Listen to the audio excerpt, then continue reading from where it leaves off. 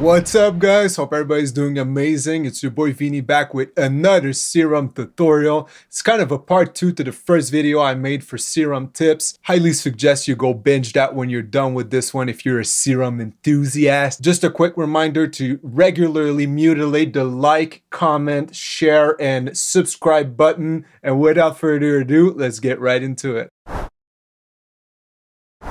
So in the previous video, I showed a couple tips regarding knobs in Serum and how you can manipulate them by typing in values and percentage. An absolute chat of a viewer going by the name of Dragissa Boka indicated in the comments that the same thing basically applies to the ADSR values. Let me explain. So you probably know you can move this knob or type in the milliseconds for the attack value, for example. Well, you can also type in one quarter and that understands that it's one quarter of a note at the current beat BPM. Music math just for fun 60 seconds, so one minute equals 60,000 milliseconds. 60,000 milliseconds divided by the BPM equals a quarter note. Okay, so nobody cares about that, right? You can do the same thing for every single AHDSR knobs in Serum, so you can actually sync these envelopes to your song's tempo. Just before rendering this video, I realized that the portamento knob actually follows the same behavior. Yay! At some point, you might have wondered how or if it's possible to automate the curves in the envelope and the LFO tabs. I certainly did, and I have the answer. It is possible to do it, even if it's not obvious at first. For the envelope tab, it's not too complicated. Move it and then browse your parameters depending on what DAW you're using. This process can change. You can find the a curve one, which means the attack on the first envelope, you can just automate that setting. For the LFO curve, we have to add a single step. We have to link a macro to the curve, head to the mod matrix, make sure the modulation can go both ways and raise the amount. And when your LFO is actually modulating something, so right now it's modulating wavetable position. If I move the macro, it moves the curve. So I can automate the macro and that would mean automating the curve of the LFO.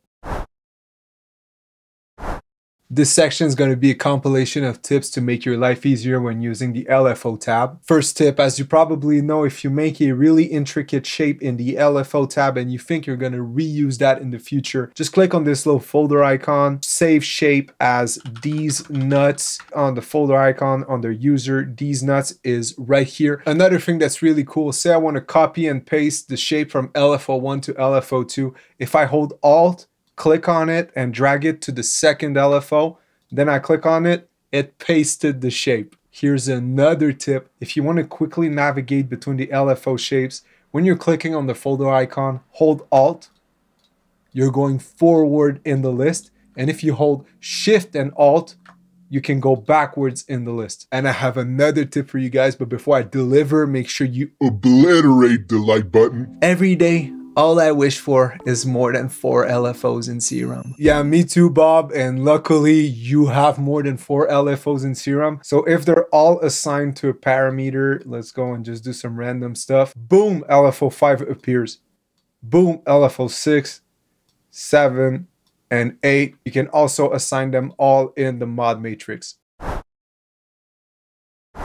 Now this section only applies to my guys using FL Studio. If you're not on this DAW, you can probably skip ahead. Starting with the mod wheel, it's actually not at all intuitive to get it to work in Serum or in FL Studio as a whole, but there's a fix for that. So what you'll do in Serum is manually move the mod wheel right here, then click on browse parameters from this drop down menu. Find the mod wheel parameter. It should be highlighted because we just moved it. Right click on it, hit override global link. This little window pops up. Move your mod wheel. Now, when you go back to Serum, it works. This should make any synth with a mod wheel parameter work straight off the bat. Even if you close and reopen FL, you should not have to repeat these steps. It should be good to go straight up. Big shout outs to Index on the Discord forum for explaining how to do this. Let's move on to the pitch wheel in FL Studio so you can use the full range of two octaves that Serum offers. In order to do so, go in the bottom left of Serum and instead of two, type in 24. On the other one, type in minus 24. Now click on the cogwheel icon at the top, go in the second menu and under send pitch bend range. Put this at 2, then go ahead and tick the option. Now when we go back in Serum and play around with the pitch wheel, So we now have the full range. If you wanted to have less range, you could go in here and type 12 and minus 12. This would give you one octave up, one octave down. So just use that same logic. 1 equals 1 semitone. Don't forget to replace your current serum with the new one under add to plugin database flag as favorite so that it remembers the options that you just inputted. Thanks a lot for sticking around and watching the video guys. I hope you learned something today. To learn more serum tips, go check out the video I linked in the description below. I also have on my channel multiple videos where I explain how to make certain sounds like an 808, a pluck bass, some keys, so go check that out. And if you want to be an absolute Chad like the two guys I mentioned in the video, drop a comment with your secret technique, a tip you think could help other people use serum. I'll be sure to make a part 3 for the video and give you a shout out. Peace.